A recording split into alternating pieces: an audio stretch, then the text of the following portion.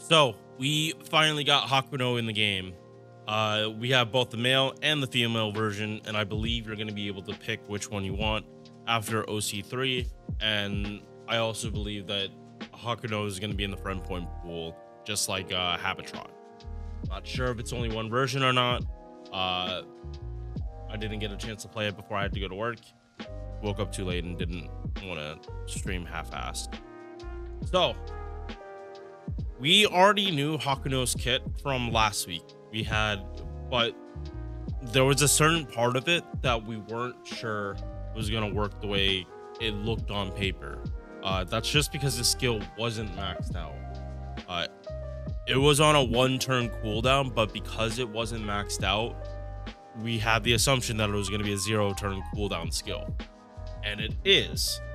The interesting part about that skill, though, is it actually completely changes how you do uh, core farming for Buster and Quick to the point that for those two card types specifically, you don't need to do multi-core. Depending on the node, you might just get away with using an AoE and having them be able to card whenever you need them to.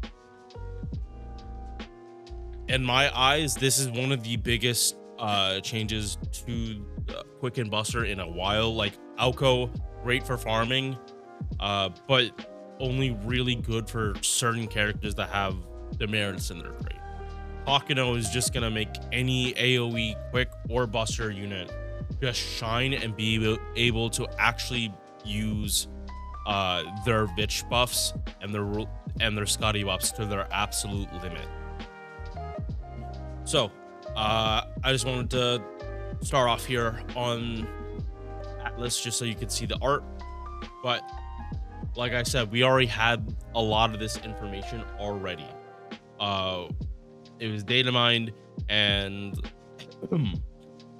like we got actually got to use Hakuno in game.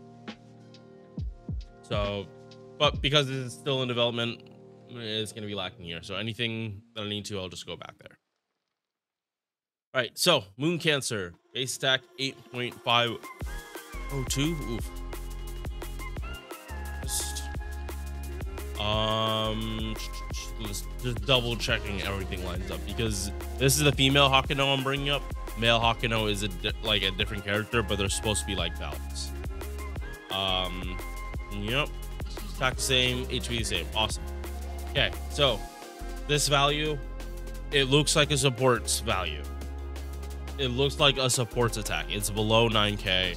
Uh, this isn't usually where you want to be for a four star, especially someone someone that's supposed to be doing some damage. But at the same time, Hakuno is like really, I want to say sub DPS. Uh, it like, but for quick and busters specifically, if you plan on carding support, you're not you're not likely to be clicking Hakuno's cards, except to probably enable the support a little more. I'll explain in a bit uh, on that later. Uh, star weight, star gen, these are moon cancer numbers. MP charge, 0.6%. They have a buster MP, but this 0.6% is actually like really, really important for how they farm. It, like, if you run, like, you, it's actually really good that it's quick and buster that are getting buffed because you can use Hakuno's arts card uh for mighty chains. So you like make their carding even better. Uh you are gonna want to be clicking the arts card just so you have are able to do her support thing like much easier. I'm being a little vague but if you like playing through it you know what i'm talking about. Like you need enough battery to be able to do it and do it a lot to get your best carding so Four hits on quick, good. Three hits on arts. These are decent arts cards. Uh, four hit on buster, and five hit extra attack. Uh, if you hit the extra attack, you will gen a good amount of stars, and your MP charge isn't that bad. It's not that bad. So, uh, pain point will just be the just attack of it. Like the extra attack isn't gonna do much attack, but at least it will, it will gen stars and it will give you a good chunk of battery. But in three turn farming, you're probably not hitting the extra attack for Hakuno. That is more CQ or when you need to, when Hakuno needs to survive. And I'll get on that in a bit too. So let's get started. This is the whole whole thing why I say Hakuno is going to revolutionize quick and buster farming involving carding. He has infinite card reroll as long as she has the battery for it. And I mean, if hmm, Hakuno might actually no, uh, sorry, not Hakuno, Aoko might actually be able to neg this part too. And if that's true, then you this is really infinite reroll. Uh, oof. I I actually can't wait to test that later.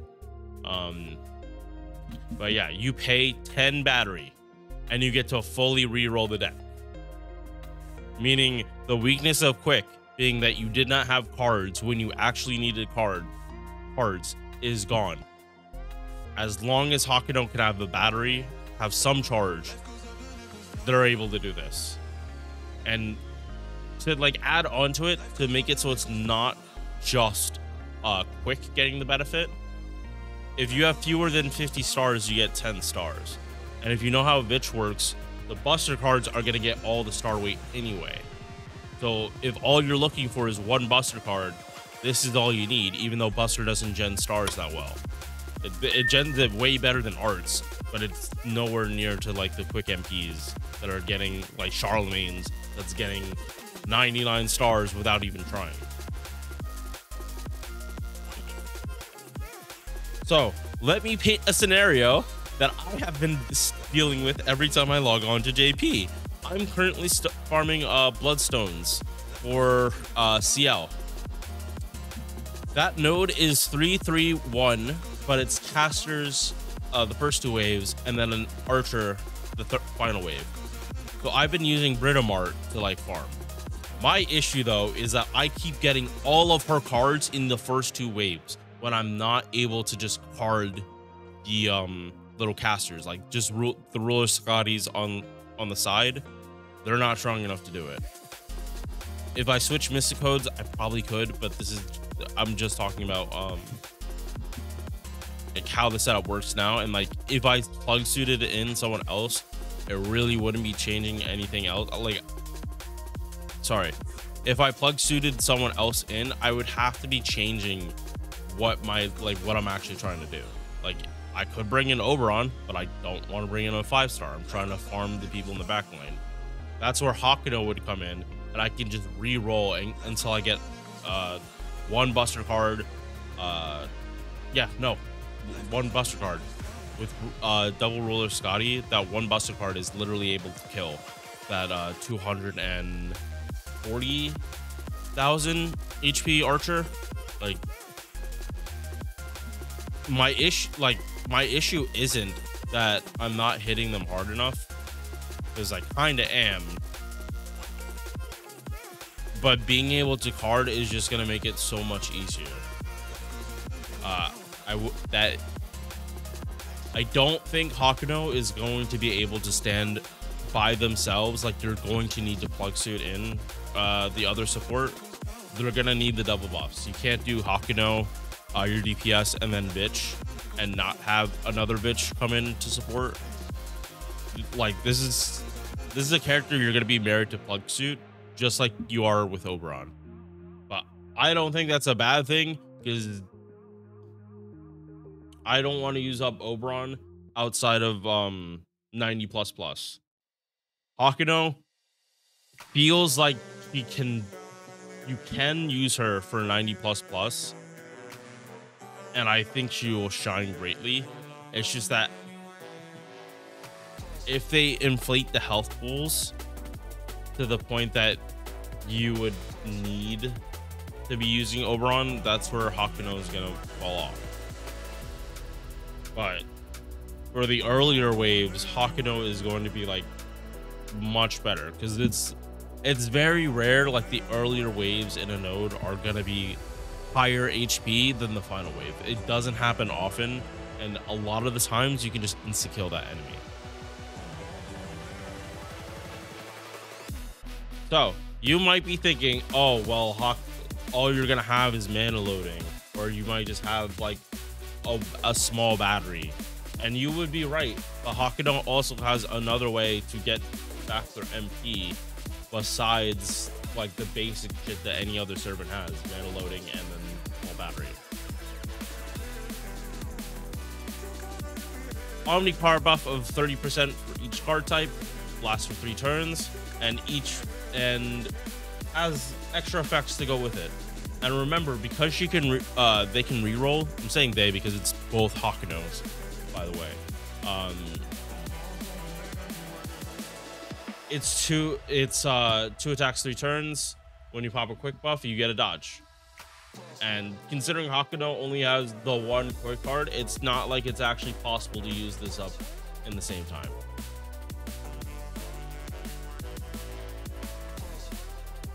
Second, if you do an art card, you get 20 battery. So by default, ignoring any kind of refund, she already gets two more rerolls of this just by clicking the arts card and having Hakuno actually attack. So, or Mighty Chains, this is invaluable because it just means like she just she will just be able to keep doing what she's already doing. You don't have to change anything, and like you're guaranteed to at least get two stacks. Is depending on where you put the arts card, you might get, or if you crit, you might get more than two rerolls. You might get three, four. If you crit, you might get six. Um, it just depends on what buffs are going around. Like if you're using a DPS with AoE arts buffs, like this is gonna change. Like AoE quick arts. Like And then the final one, crit damage up for three turns when normal attacking with Buster cards. Uh, they have to specify normal attacking for all this because Hakuno has a Buster MP, and you could, if there wasn't this restriction, you would just like it would actually proc before the MP. So like if you were doing a Buster Brave Chain, you'd start off with already 40% crit damage. They they didn't want that because uh, like the quick buff has a restriction of two times three turns. These two don't have restrictions. So this one actually you could just be spamming Buster Brave Chains, and then that last turn of Buster cards, you'd have uh 120% Buster crit through their own skills. Like they're they're not putting restriction on this. Very nice. I do like that. Um yeah, no, this is a really good uh Omni card bus buff.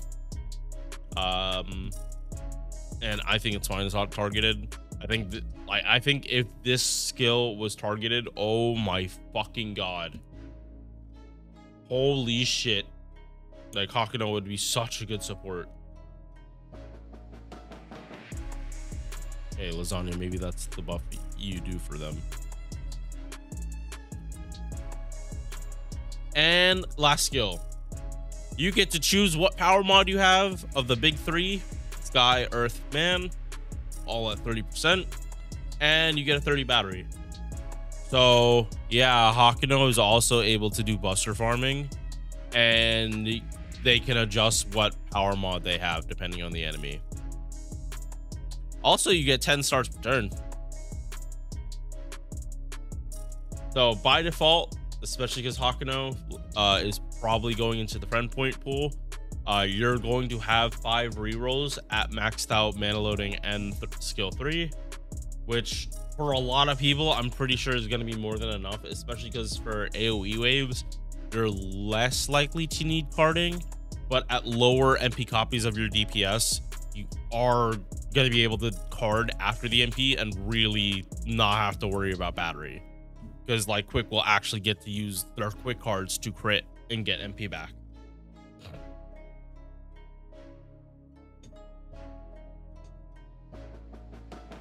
So my TLDR is that the lower your MP copy is for Hakuno, the better. No, sorry.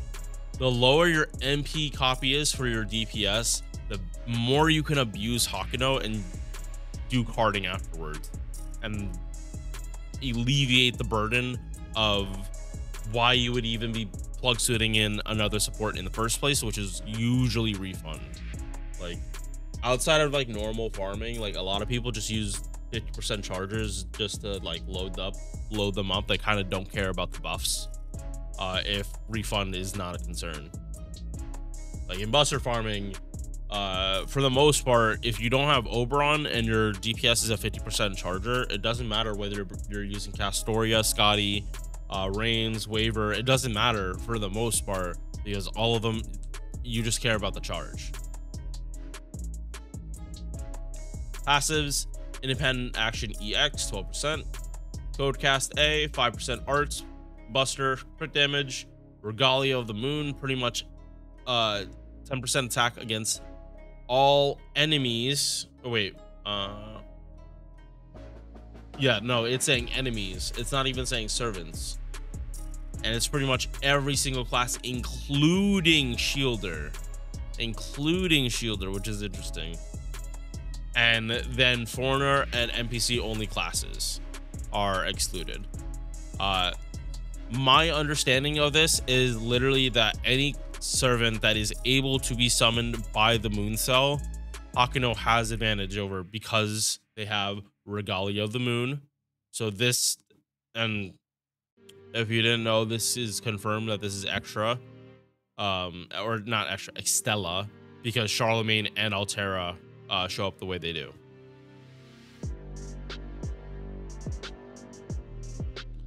Okay, so pens, mana loading is a must you're gonna want to get this up as soon as possible.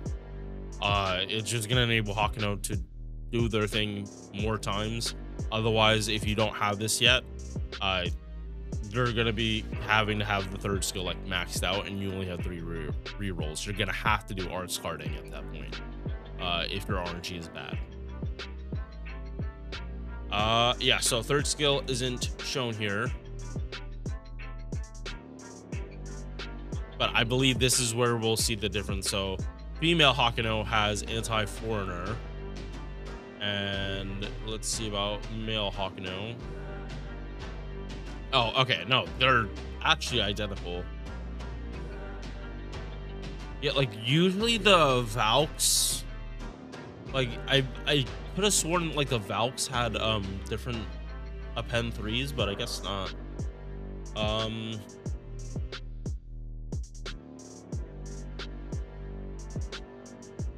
Yeah. So going back. All right. Their MPs are the same.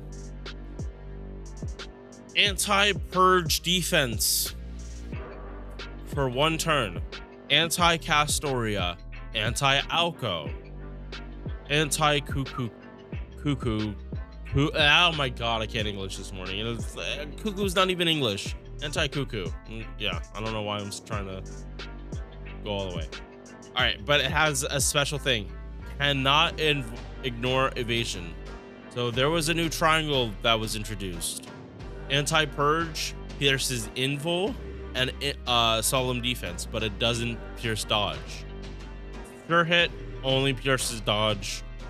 Invul only um only hits through dodge and invul. So dodge got a buff. It's a slight one, but it does mean that we're gonna see this uh, buff on bosses a lot. We're gonna start seeing this a lot, and being completely honest, I think this is this is taking way too long to come into the game.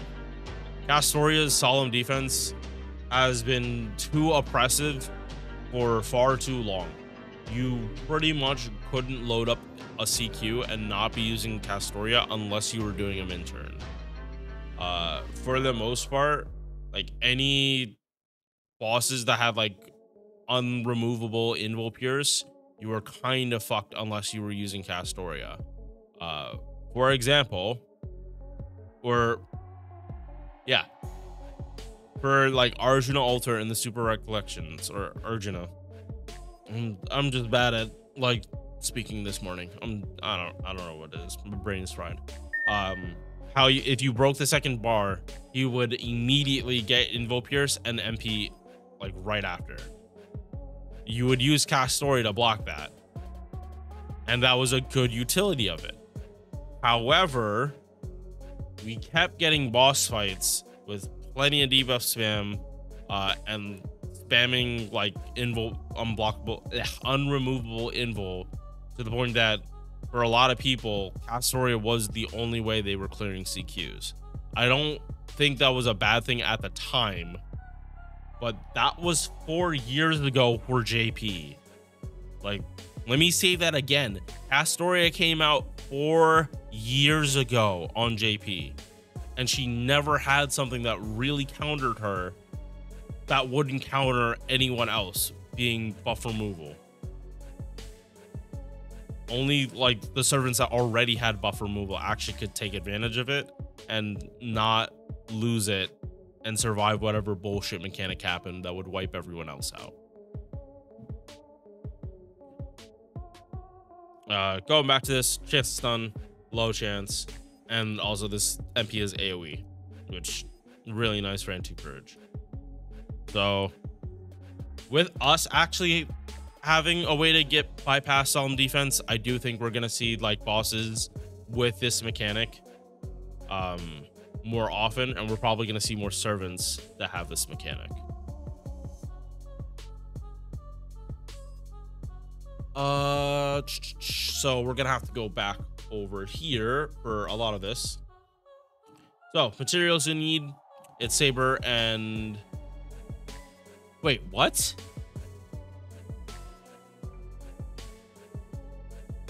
Huh, okay, so Hakuno is the first...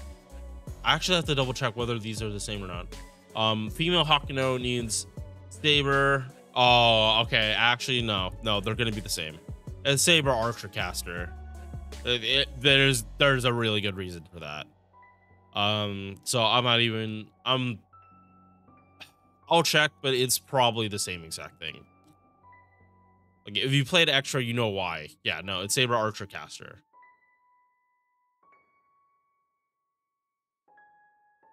Um, after set after you get to seven, cost steel and the I forget what this is, the tiaras. I call them tiaras, and then you need uh, comet shards and the new mat to come from OC3 that you can farm in storm pods.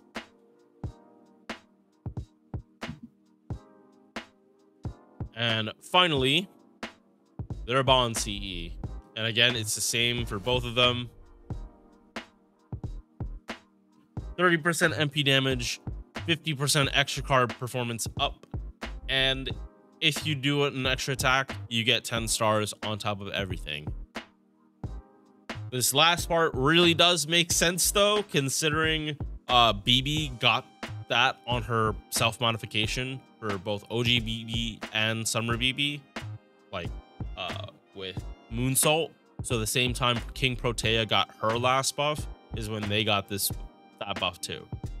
Honestly, kind of makes sense why they even got that buff in the first place if Hakuno was already uh, in development back then, and they had an idea for her doing this.